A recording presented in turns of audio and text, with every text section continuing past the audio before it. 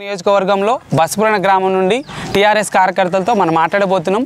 యువత టీఆర్ఎస్ పై చాలా మొగ్గు చూపుతా ఉన్నారు. అది అడిగి తెలుసుకుందాం. నమస్కారం అండి. నమస్కారం.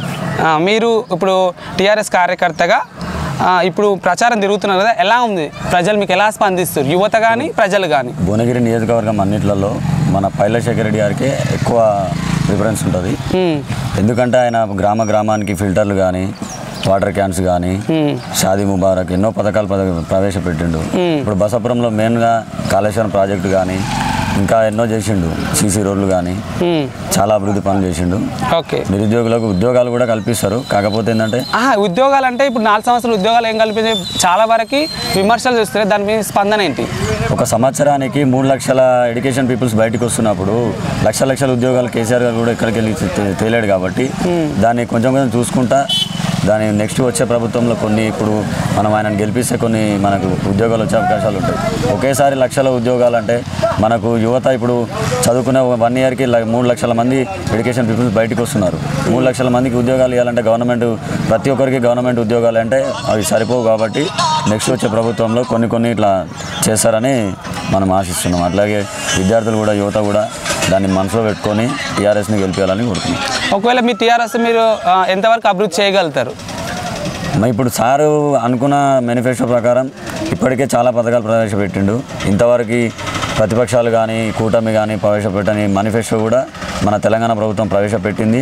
ఆల్రెడీ ప్రవేశపెట్టిన దాంట్లో అందరికీ అందినాయి పథకాలు అందరికీ అందినాయి. దాదాపు ఒకరింట్లో వృద్ధాప్య పింఛన్లు కానీ వితంతు పింఛన్లు కానీ మరియు మళ్ళీ మన వికలాంగులు మన అన్ని రకాలుగా పింఛన్లు షాదీ ముబారక్ కళ్యాణ్ లక్ష్మి. ఓకే. కనీసం ఇంటికొక మన టీఆర్ఎస్ ప్రభుత్వం చేపడుతున్న మేనిఫెస్టోలో ఇంటికొక పథకం అన్న అందింది. అయితే చిన్న క్వశ్చన్ ఏంటంటే ప్రాజెక్టు మన ప్రాజెక్టు పైన? ఓకే ప్రాజెక్టు పైన మీకు స్పందన ఏంటి? ప్రాజెక్టు కూడా జరగడం లేదు కదా. చాలా వరకు విమర్శలు ఉన్నాయి దానిపైన. మీ యొక్క దాని గురించి?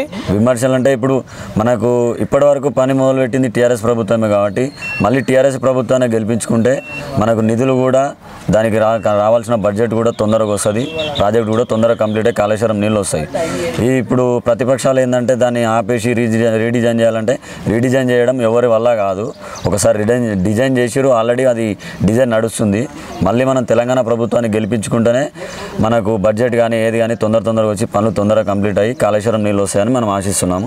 అది ప్రతిపక్షాలు కూడా మా కూటమి కానీ ప్రతిపక్షాలు కానీ ప్రజలు కానీ బసాపురం ఒకటే కాదు ముంపు ప్రాంతాల ప్రజలు కానీ ఈ నీళ్ళు వస్తే లబ్ధి పొందే ప్రజలు కానీ అందరూ మనసులో ఉంచుకొని తెలంగాణ ప్రభుత్వాన్ని గె- గెలిపించి మళ్ళీ ఇదే ప్రభుత్వం మనకు ఫామ్ అయితే మన పైలశేఖర్ రెడ్డి కానీ ఏది కానీ మనకు ఇంకా పనులు వేగవంతంగా అయ్యి ప్రాజెక్ట్ తొందరగా కంప్లీట్ అయ్యే అవకాశాలు ఉంటాయి.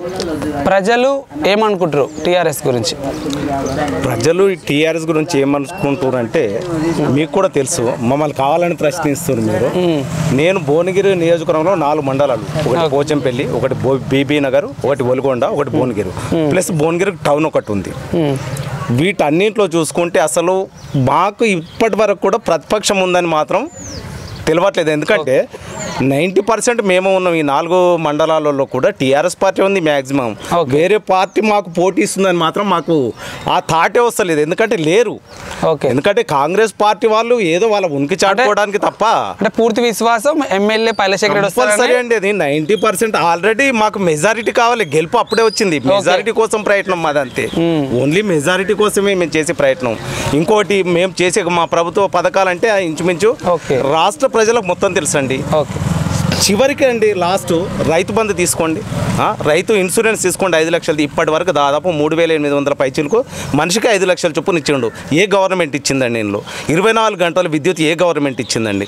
దీంట్లో మాత్రం మాకు ఈసారి వంద పైచీలకు మా కేసీఆర్ గారు అన్నట్టు వంద పైచీలకు సీట్లు రావడం ఖాయం ప్లస్ ప్రభుత్వాన్ని ఏర్పాటు చేయడం ఖాయం.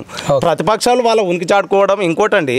బలమైన వ్యక్తిని కొట్టాలంటే పది మంది కలవాలని పది మంది కలిసిరు అయినా కొట్టలేక వాళ్ళు చెమటలు పడుతున్నాయండి. వాళ్ళతో అవ్వట్లేదు కాబట్టి ఈసారి ఖచ్చితంగా ఏర్పడేది టీఆర్ఎస్ ప్రభుత్వం.